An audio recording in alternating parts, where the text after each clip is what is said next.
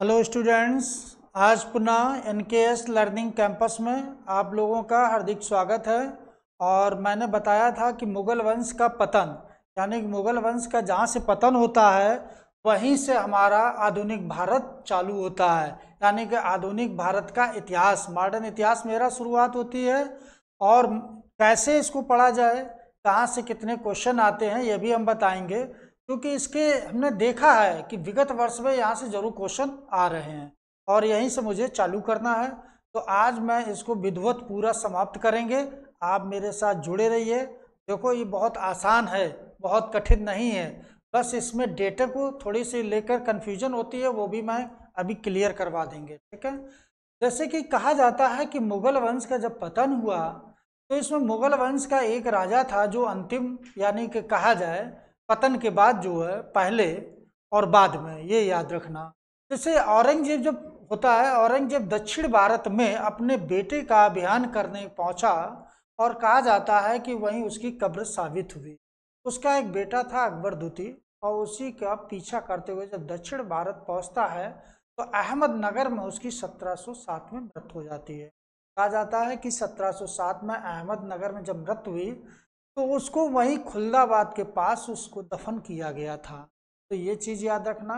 और औरंगज़ेब पहला ऐसा मुगल बादशाह था जो अपनी वसीयत लिख कर मरा था। इसने अपने बेटों को इस वजह से लिख के मरा क्योंकि ये जान रहा था कि मेरे बेटे हो सकता है मरने के बाद सत्ता के लोग के ये लोग झगड़ा करें। तो इसके बेटे कितने थे? तीन बेटे थे।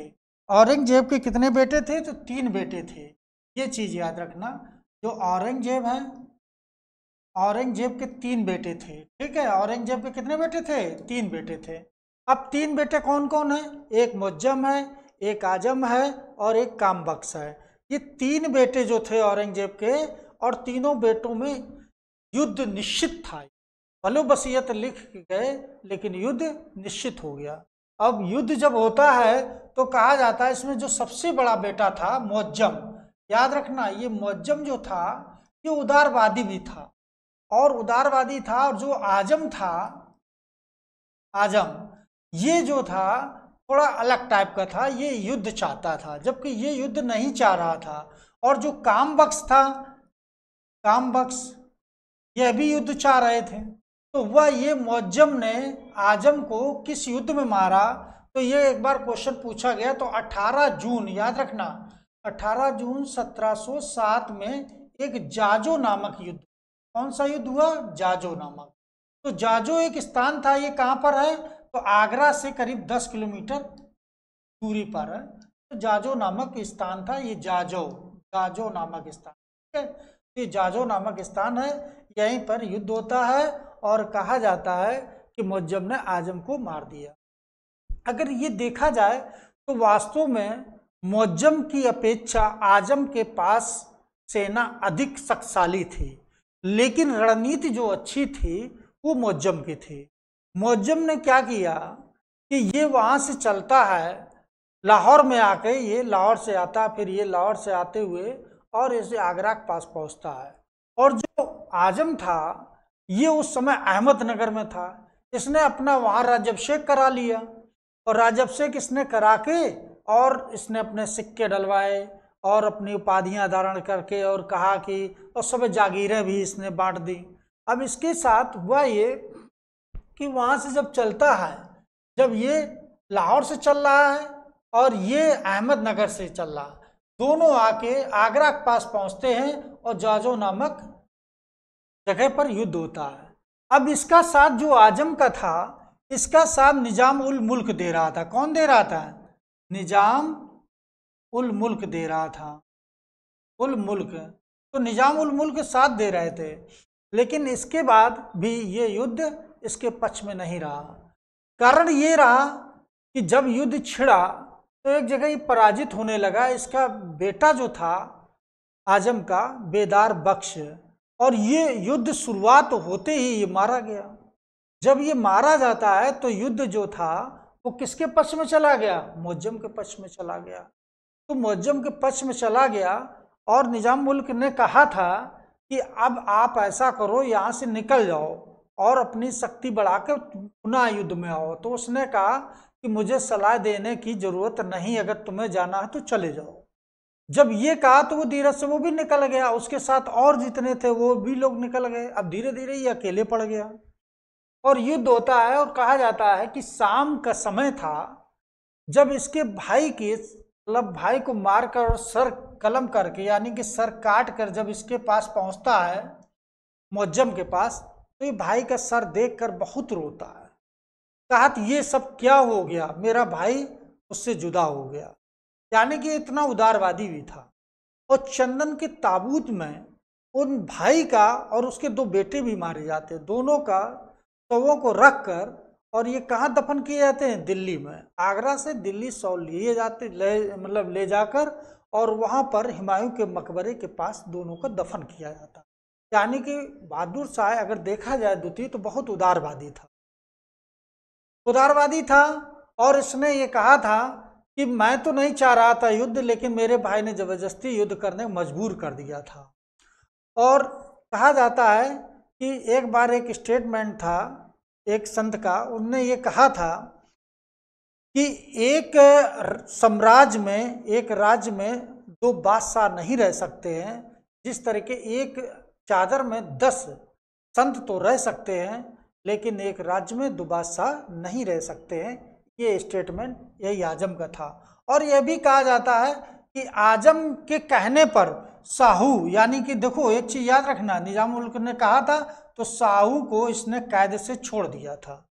जब साहू को कैद से छोड़ा तो ताराबाई और साहू के बीच युद्ध भी हुआ था, ठीक है? तो वो भी चीज़ याद रखना। इसके बाद काम बख्श। काम बख्श को भी इसने, यानी कि 1709 में देखा जाए तो काम बख्श को भी हराकर मार दिया। हैदराबाद के पास ये काम बख्श के बीच युद्ध होता है और काम बख्श भी मारा जाता है। यानी कि अगर देखा जाए तो यही जो मुज्जम था मुज्जम ने अपने दो भाइयों को मारकर और किस नाम से बैठा था? बहादुर शाह। याद रखना, बहादुर शाह के नाम से बैठता, इसकी एक उपाध और थी, शाह आलम थी। कौन सी उपाध थी? शाह आलम। शाह आलम प्रथम था ये, ठीक है? तो शाह आलम प्रथम के नाम से 1707 में गद्दी पर बैठता है और कब तक ये शासन करता है? 1712 तक ये शासन करता है। तो ये चीज़ याद रखना। और कहा जाता है कि बहादुर शाह जो प्रथम था, इसने गुरु गोविंद सिंह को पाँच हज़ार का मनसब दिया था। कितने का मनसब दिया था? पाँच हज़ार का, दस हज़ार मनसब दिया था। और सिक्कों से जो चले आ रहे थे, इतने लंबे समय से ईर्षा चली आ रही थी यानी कि सिख जहांगीर के समय संबंध खराब हुए थे और औरंगज़ेब ने तो गुरु गोविंद सिंह के दो बेटों को मरवा दिया था, युद्ध में शहीद हुए थे और दो बेटों को दीवार में ज़िंदा चुनवा दिया। जो इतने लंबे समय तक संबंध खराब हुए थे, उसको पुनः उसने दोस्ती में बदल दिया था मुज्जम यानी कि बहादुर शाह ने। तो बहादुर शाह ने उनको पाँच हज़ार का मनसब भी दिया। ये चीज़ याद रखना। कितने का मनसब दिया था? तो पाँच हज़ार का मनसब दिया था। पाँच हज़ार का मनसब भी दिया था जात सवार इनको दिया गया था। एक चीज़ और याद रखना कि जब, अब ये एक चीज़ याद रखना कि इस जगह जब गुरु गोविंद सिंह के संबंध अच्छे होते हैं, लेकिन गुरु गोविंद सिंह की जब मृत्यु हो जाती है, इसके बाद उनका जो सेनापत था बंदा बहादुर तो बंदा बहादुर ने इनके खिलाफ बगावत कर दी थी, बहादुर शाह के खिलाफ। तो लौगढ़ के किले पे वो एक बार हार जाता और वो कब्जा कर लेते हैं और वो वहाँ से भाग जाता। पुनः ये कहा जाता है कि जब 1712 में 1712 में अगर ये देखा जाए 1712 तो 1712 में पुनः लौगढ़ के किले पे कब्जा कर लेता है और लौगढ़ का किला जो था, अंबाला के पास है और इसको किसने बनवाया था? गुरु गोविंद सिंह ने बनवाया था। उसको पुनः वो कब्जा कर लेता है और कहा जाता, बंदा बहादुर जो था इसने सिख धर्म की पुनः, यानी स्वतंत्र सिख धर्म की स्थापना की थी। तो ये चीज़ याद रखना, ठीक है?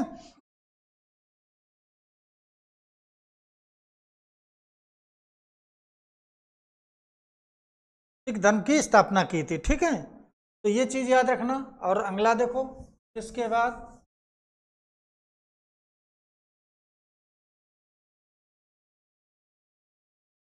हाँ एक चीज़ और याद रखना कि मोहम्मद शाह के बाद कौन बैठता है? जैसे मोहम्मद शाह है, मोहम्मद शाह के बाद कौन बैठता है?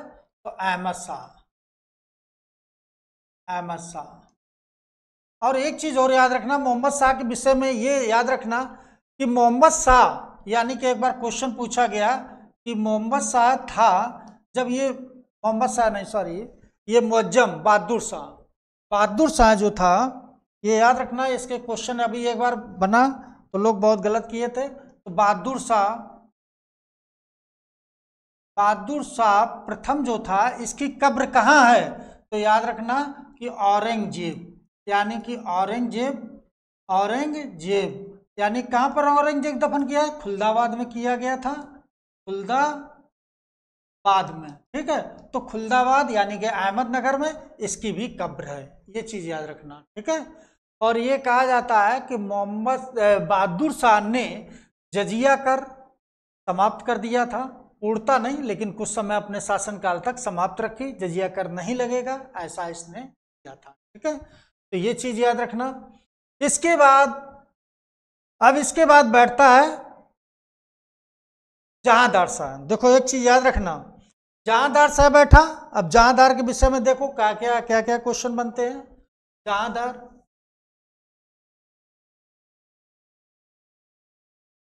पहली चीज़ तो ये याद रखना बहादुर शाह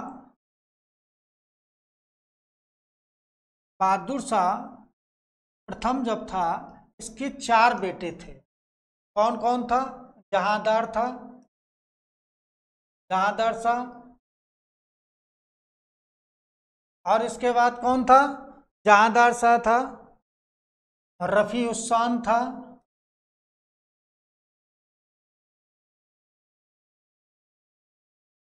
अजीम उस्सान था। और जहान शान था। कौन? जहान शाह था। ये चार बेटे थे। तो ये कहा जाता है कि जहांदार शाह ने अपने तीन भाइयों को मारकर सत्ता प्राप्त की थी।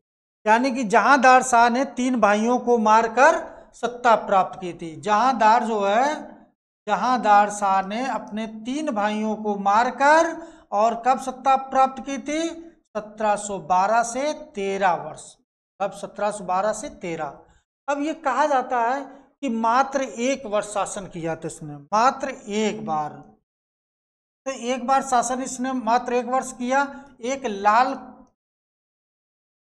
कुंवारी नाम की वेश्या थी। लाल कुंवारी नाम की एक वेश्या थी।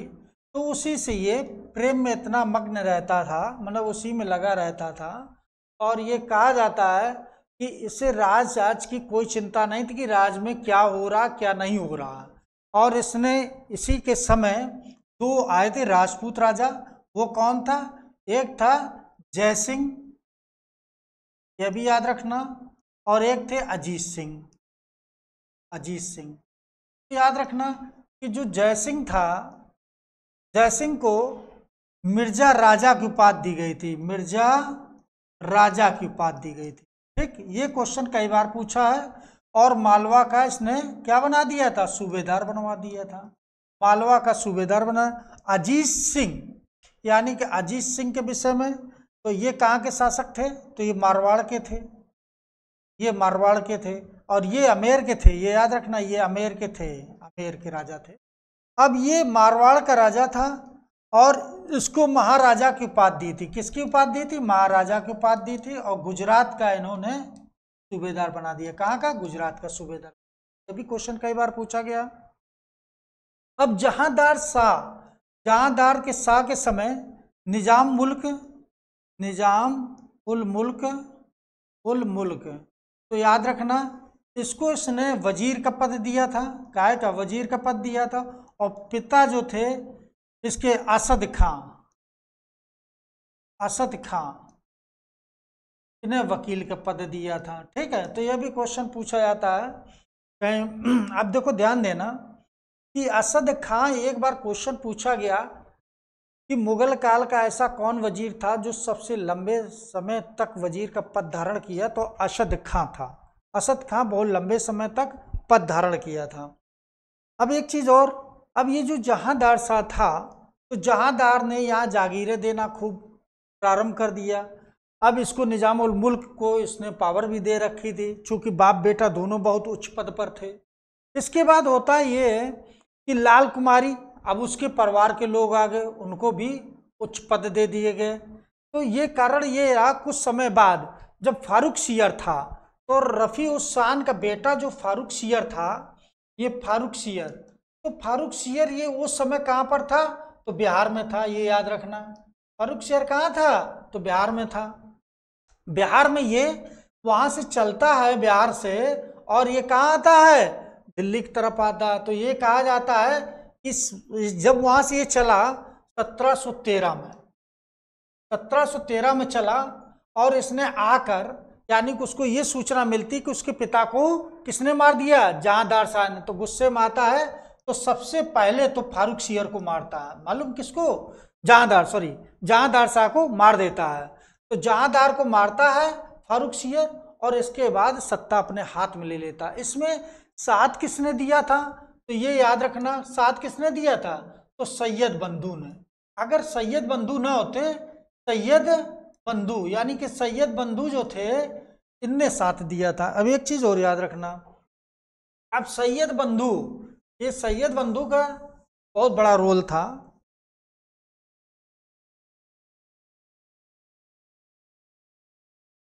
देखो सैयद बंधु, अब यहाँ पर ध्यान देना कि सैयद बंधु, जो सैयद बंधु थे,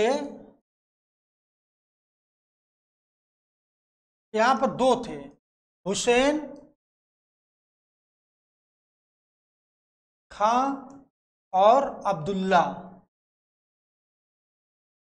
जब हुसैन और अब्दुल्ला, यानी कि फारूक शेयर की माँ ने यह कहा था कि जाओ, तुम्हारा पहला काम यह है फारूक शेयर से कि सैयद बंधुओं की माँ से मिल के आओ, उनसे आशीर्वाद लो। और फारूक शेयर ने वही किया कि वो गया और सैयद बंधुओं की माँ से मिला। जब उनकी माँ से मिलता है तो उनकी माँ ये कहती है अपने बेटे से कि जाओ इसका राजपाट वापस दिलाओ। और इनने वचन दिया था कि हम तुम्हारा राजपाट वापस दिलाएँगे। और यही कारण हुआ कि सैयद बंधुओं की सहायता से फारूक सियर, यानी कि अगर देखा जाए, सैयद बंधुओं की सहायता से फारूक सियर, यानी कि फारूक सियर बैठता है। देखो, ध्यान देना इस जगह।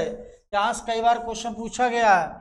अब फारूक शेयर जब बैठता है, ये फारूक शेयर फारूक शेयर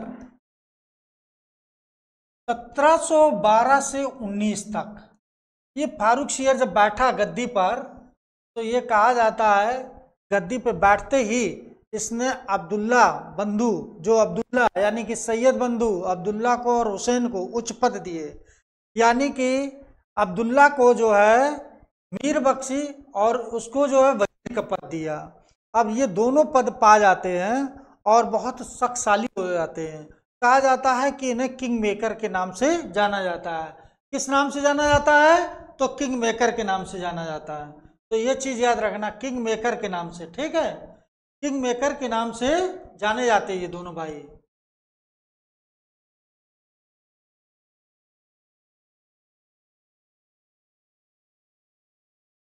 अब देखो किंग मेकर के नाम से जाने जाते हैं। तो किंग मेकर के नाम से फारूक शियर के समय, याद रखना, यहाँ पर जरा देखो ये, कि फारूक शियर है जो ये ये किस, इसी के समय किंग मेकर के नाम से कौन जाना है अब्दुल्ला और हुसैन। अब्दुल्ला, हुसैन किंग मेकर के नाम से जाने जाते हैं। तो ये चीज़ याद रखना, फारूक शेयर की मृत्यु कैसे हुई थी?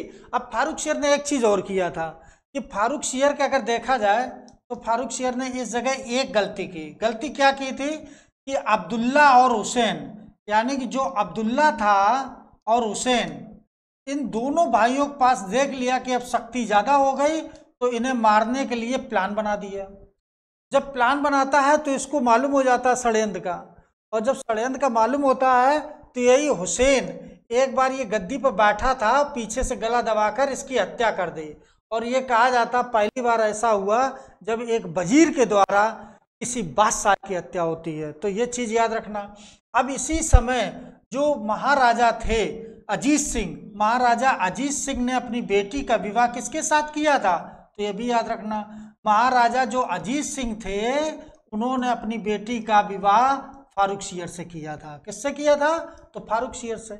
अब इनको उच्च पद भी मिल गए थे। ठीक है तो ये चीज़ याद रखना।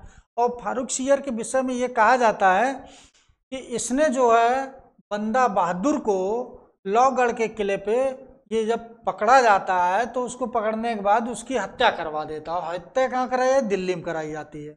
तो उसकी हत्या किसके समय हुई है? बंदा बहादुर की तो फारूक शेयर के समय। तो फारूक शेयर को ये याद रखना हो। फारूक शेयर की बाद में मृत्यु किसका, क्या कर रहा? है क्योंकि हुसैन को मारने के लिए षड्यंत्र रचा तो हुसैन ने ही इसको मार दिया। तो ये चीज़ याद रखना। इसके बाद रफ़ी एक और शासक बैठता है। रफ़ी दर्जात। देखो, एक चीज़ याद रखना रफ़ी दर्जात, यानी कि 28 फरवरी से 4 जून 1719 तक बैठता है।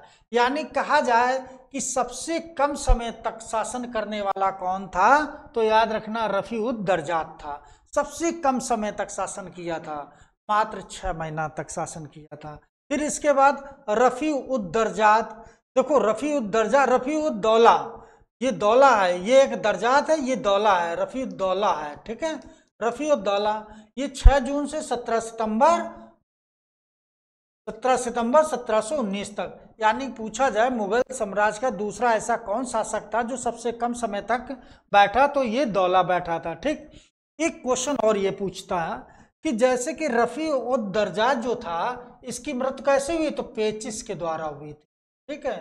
पेचिस के द्वारा हुई थी। और जो ये रफ़ी दौला था, इस, इसकी कैसे मृत्यु हुई थी? तो टीबी के द्वारा हुई थी। यानी कि टीबी हो गया इसको, इस वजह से ये मर गया। और इसको किस नाम से जाना जाता है? एक चीज़ और याद रखना, शाहजहां दूती के नाम से भी जाना जाता है। किस नाम से? तो शाहजहां दूती के नाम से। ठीक है? तो शाहजहां दूती के नाम से भी जाना है। अब इसके बाद मोहम्मद शाह बैठता है। मोहम्मद शाह को रोशन अख्तर के नाम से जानते हैं। ये 1719 से कब तक? 1748 तक बैठता है। मोहम्मद शाह के विषय में ये कहा गया। मोहम्मद शाह के विषय में कहा जाता है कि मोहम्मद शाह जिस समय गद्दी पर बैठा तो उस समय अब्दुल्ला और सैयद बंधुओं का पतन हो गया। पतन कैसे? क्योंकि इसने ये कहा था कि अब इन दोनों को समाप्त कर दिया जाए। तो एक मोहम्मद हादी थे, उसने इसको मारा था। किसको? हुसैन को। जब हुसैन मार दिया जाता है तो अब्दुल्ला बदला लेने के लिए जाता है गुस्से में, वो भी पकड़ा जाता है, वो भी मार दिया जाता है। तो दोनों भाइयों का पतन किसके समय होता है? तो मोहम्मद शाह के समय होता है। अब एक चीज़ और याद रखना कि मोहम्मद शाह जो था, इसी के समय नादिर शाह ने अटैक किया था। नादिर शाह का आक्रमण किसके समय हुआ था? तो मोहम्मद शाह के समय हुआ था। ये चीज़ याद रखना, ठीक है? फिर अगला क्वेश्चन बनता है अहमद शाह। देखो, अहमद शाह के समय अर्थव्यवस्था इतनी, और एक चीज़ और याद रखना, इससे जो मोहम्मद शाह था इसे रंगीला के नाम से जाना जाता है। किस नाम से जाना जाता है? तो रंगीला के नाम से। तो कोई एक चीज़ और जान लेना कि ऊपर से चार का क्रम पूछा जाता है। जैसे बहादुर शाह का पूछा जाए तो शाह बेखबर के नाम लगा के आना। और अहमद शाह के विषय में जहांदार शाह के समय में पूछा जाए तो जहांदार को लंपट मूर्ख कहा जाता है। और अगर फारूक शेयर के विषय में बात की जाए, देखो फारूक शेयर के कई बार पूछा गया। तो ये घड़ित कायर कहा जाता था, ठीक है? और इसके बाद अगर ये पूछा जाता है कि मोहम्मद शाह है तो शाह बेखबर हो गए। तो ये, अब कारण ये हो गया रंगीला। ये तो रंगीला के नाम से, ये किस नाम से जाना जाता था? तो रंगीला। ये रंगीला के नाम से जाना जाता था, ये घड़ित कायर के नाम से जाना जाता था, ठीक है? ये याद रखना। और ये लंपट मूर के नाम से लंपट मूर के नाम से, और ये शाह बेखबर के नाम से शाह बेखबर के नाम से। अब ये शाह बेखबर, यानी कि अगर ये किसने कहा था शाह बेखबर है तो खाफी खान ने कहा था, जिनने मुतकब उल्लुबाब पुस्तक लिखी थी, ठीक है? तो ये चीज़ याद रखना। अहमद शाह के समय तो ये मतलब मुगलों की ऐसी अर्थव्यवस्था चरमराई कहा जाता है कि इस समय वहाँ दरबार के बर्तन तक गिरवी रखने पड़े, बेचने पड़े। कारण ये है कि वेतन देने के लिए पैसा नहीं बचा था और इसकी माँ जो थी, वो अपने हाथ में सत्ता ले ली थी। ठीक है? तो ये भी एक बेकार शासक रहा, नाम मात्र का कोई इसने कुछ किया नहीं। और ये कहा जाता है, अक्सर पूछा जाता है कि अहमद शाह अब्दाली का आक्रमण किसके समय हुआ? तो अहमद शाह को लगा के आना। ठीक है? अहमद शाह को लगा के आना, अहमद शाह अब्दाली देखो कैसे निकालेंगे? अहमद शाह, यानी कि अहमद शाह अब्दाली का आक्रमण हुआ। इसके बाद आलमगीर। आलमगीर सत्रह से अट्ठावन तक बैठे हैं। तो आलमगीर, ये बैठते हैं, इनका भी कोई बहुत रोल नहीं रहा। कुछ समय तक बैठे हैं, लेकिन इनका भी कोई खास रोल नहीं। इनके वज़ीर ने ही कादिर था, उसने इनकी, यानी कि हत्या करवा दी। फिर शाहजहाँ तृतीय बैठते हैं। तो शाहजहाँ तृतीय तो शाहजहाँ तृतीय तो नाम मात्र के ये भी बैठे, इनका भी कोई खास रोल नहीं रहता है। अब इसके बाद जो मुख्य है, अभी वो बताएँ आपको।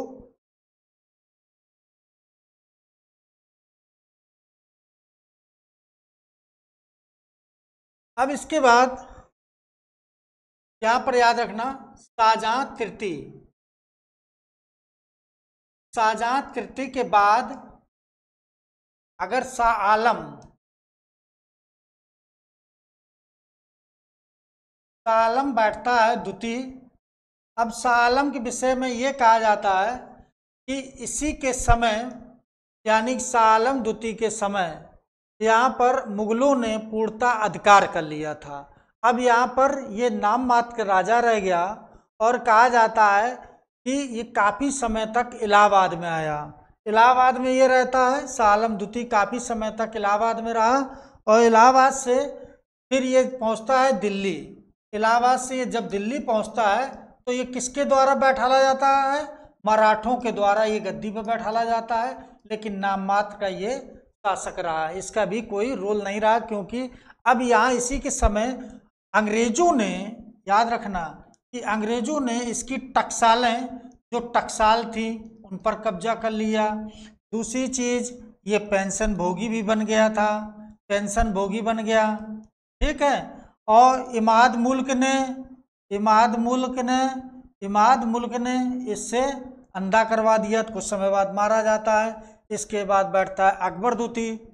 अब देखो अकबर दूती, जब ये अकबर दूती बैठता है तो ये कहा जाता है कि अकबर जब दूती बैठा तो इसी के समय, यानी कि ये स्थित हो गई कि ये पेंशन भोगी था, और इसने कहा अपनी पेंशन बढ़ाने के लिए किसको भेजा? यानी कि इस समय राजा राम मोहन राय को, राजा राम मोहन राय को कहाँ भेजा था? ब्रिटेन भेजा था। कहाँ भेजा? तो ब्रिटेन। तो ब्रिटेन भेजा, यानी कि ब्रिस्टिल एक जगह है, वहीं गए ये। वहीं पर इनकी कब्र बन गई। यानी कि ये कब जाते हैं? 1830 में जाते हैं और 1832 में इनकी यहीं पर मृत हो जाती है। यानी कि सितंबर। सितंबर 1832 में इनकी जब मृत हो जाती है, लेकिन उसके पहले इन्होंने उनकी पेंशन बढ़वा दी थी। अकबर द्वितीय की पेंशन तो बढ़वा दी। बढ़वाने के बाद उनकी जब मृत होती है, मृत को पहले उन्होंने राजा शब्द किसके लिए लगाया था? राजा राम मोहन के लिए राजा शब्द किसने दिया था? तो इन्होंने दिया था, अकबर द्वितीय ने। और कहा जाता है कि इस समय अंग्रेज़ जो थे, यानी कि पेंशन भोगी बनकर रह गए किसके? अंग्रेज़ों के।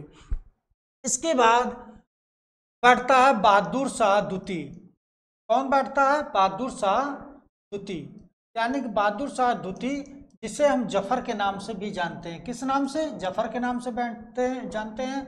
अठारह से अठारह सौ सत्तावन तक, यानी कि ये बैठता है। और ये माल, एक चीज़ याद रखना कि बहादुर शाह जो ज़फ़र बैठा तो अंग्रेज़ों का पूरा कब्जा हो चुका था। और इसी समय अठारह सौ सत्तावन की क्रांति हुई थी।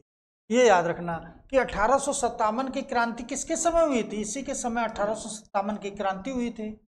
जब अठारह की क्रांति हो रही थी तो ये लोगों ने अपने एक निश्चित डेट की थी कि 31 मई को होगी, लेकिन क्रांति पहले हो गई थी।